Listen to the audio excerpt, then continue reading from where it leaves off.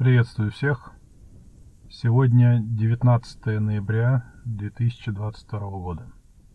Дата обязывает подвести некоторые итоги, своеобразный Новый год, и по этому поводу чувствую себя почти обязанным сказать что-нибудь разумное, доброе, вечное ну, и важное. И поскольку это именно Международный мужской день, полагаю, что самым правильным будет начать подведение итогов этого мужского года с минуты молчания.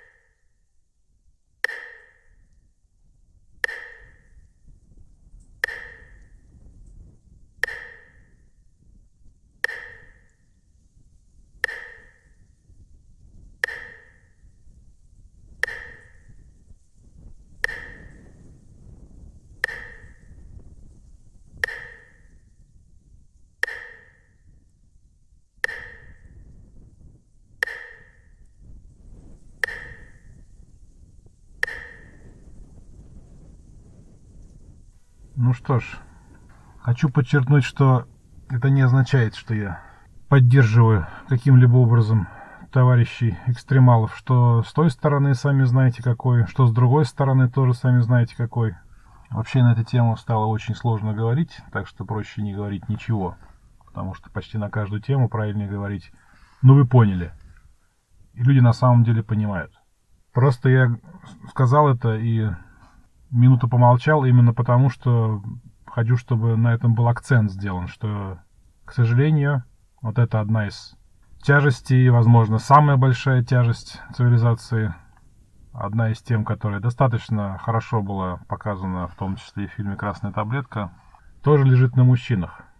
И оставляя за скобками узкий круг экстремистов, что с одной стороны, что с другой, остается только задуматься, что ли, да, и я думаю, для нас несложно поставить себя на место человека, который оказался волею просто судеб, да, оказался на другой стороне границы, и к нему точно так же постучали в дверь, и тоже не спросясь, дали в руки оружие и послали туда, куда надо узкой группе товарищей, которые, собственно, я понимаю, не относятся, собственно, ни к России, ни к Украине. Причем это верно для обоих наших стран. Ни Россия, ни Украина, похоже, решает, что что-то как происходит. Ну да я отвлекся. Хотя, в общем, учитывая, что история началась в феврале, больше часть, в общем, большая часть года этого календарного года прошла именно под этим знаком. Как вы знаете, я там сначала э, сузил программу на канале, которая была посвящена всяким там обсуждениям и умствованиям. А потом э, по обстоятельствам, которые вы тоже все хорошо знаете, я просто решил ее пока просто свернуть. И в ближайшее время не вижу. Не вижу для себя возможности, не, не вижу такого права за собой, чтобы возобновлять вот эти вот программы. Просто потому, что наше доблестное руководство, это сейчас ко всем странам относится, чего оно добилось, по сути? Ну, я не знаю, что они там, какие они себе сверхцели ставят, это вопрос для нас таинственный. Даже весьма осведомленные в этих вопросах люди называют все это дело странной, да, то есть это самый мягкий эпитет, который люди употребляют по отношению к этим событиям, странные события. Если они странные даже для тех, кто достаточно хорошо осведомлен и находится там в кругах приближенных к руководству, то тогда остается только, в общем, на нашем уровне можно, можно даже и не гадать сильно. Это, собственно, не имеет никакого смысла все это без толку. В общем, правительство умудрились несмотря на то, что мы и так находились э, на достаточно низкой высоте в пирамиде Маслоу, какие проблемы нас волновали. Нас умудрились всех спустить на этаж, а то и на два этажа ниже. И поэтому логично, что вопросы, которыми мы раньше занимались, например, на том же там на YouTube-канале или на обсуждениях, э, понятно, что они отошли на задний план. Почему по пирамиде Маслоу отошли на задний план? Хотя, как я сказал в одном из там ранних стримов, да, когда все началось, что вопросы наши никуда не делись. Они не только не снимутся, они обострятся по целому ряду причин. И там по демографической части, и по экономической части и так далее. То есть никто ничего требовать с мужчин как требовали, так и требует, и требует даже больше, фактически все. То есть, когда человек, человека требуется жизнь, это означает, что, в общем, ну, практически он отдает все, что у него, вот, его есть. Взамен при этом ему, в общем-то, ничего не дают. Как не давали, так и не дают. И более того, я думаю, что будут грабить и будут э, убивать уже и в буквальном смысле.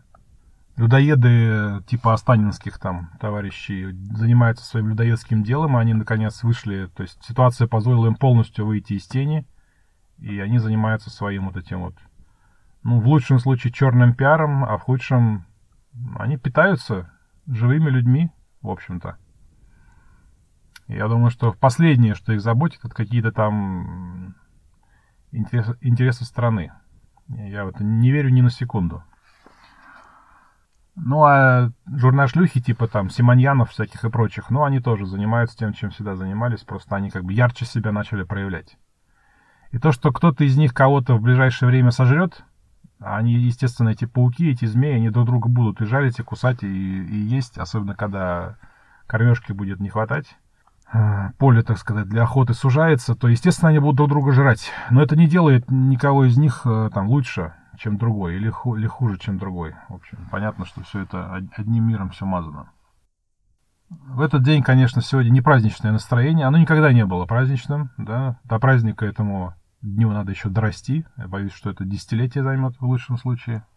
Это всегда было напоминание о, о тяжелых вещах, очень тяжелых вещах, которые всегда стоили жизни и здоровья мужчинам. Но в этом году правительство пробило очередное дно. Э, Причем я бы не был таким оптимистом, чтобы думать, что это самое низкое, куда можно упасть. Я думаю, что эти товарищи всегда найдут, куда шагнуть еще ниже. Поэтому, чтобы как бы плохо не было в прошлом году нужно было бы иметь возможность того, что провалится, как в этом году, вот, а в следующем году нужно держать в голове, что может провалиться еще ниже, чем это является, чем она провалилась сейчас. Увы, просто реальность такая. И опять, я не хочу сейчас даже спекулировать на тему, почему в глобальном смысле это делается, какие-то, что там движет сторонами, это не имеет никакого значения. Сегодня 19 ноября, я пытаюсь подвести, так сказать, моносферный итог года, естественно, с основным упором на, э, на, на Россию.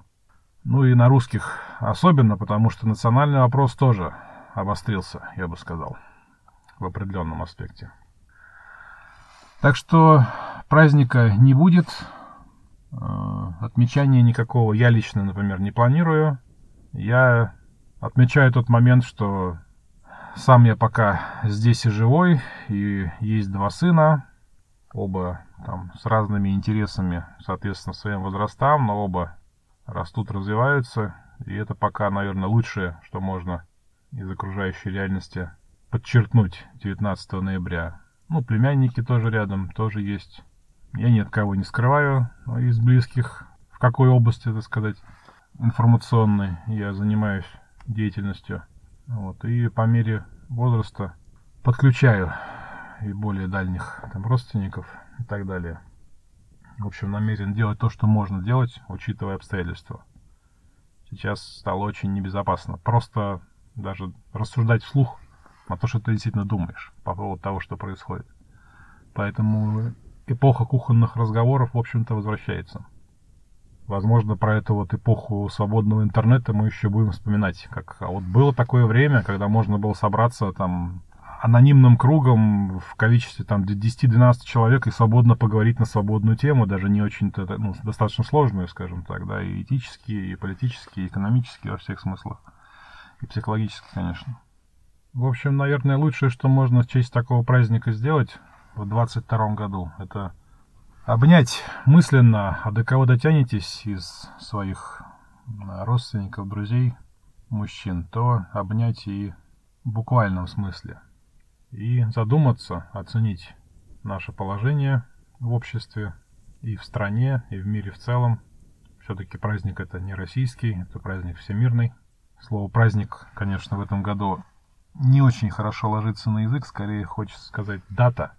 который нужно отметить именно. Отметить в смысле какой-то знак, что-то знаковое сделать, что-то знаковое сказать.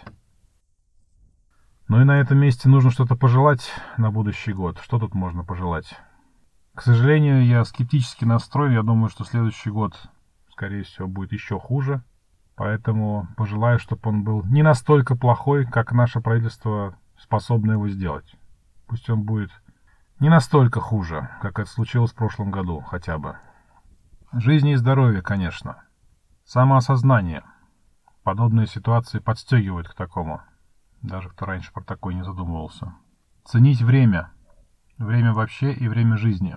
Особенно время с детьми и с семьей, у кого есть. Потому что это очень хрупкая вещь, которой легко можно лишиться.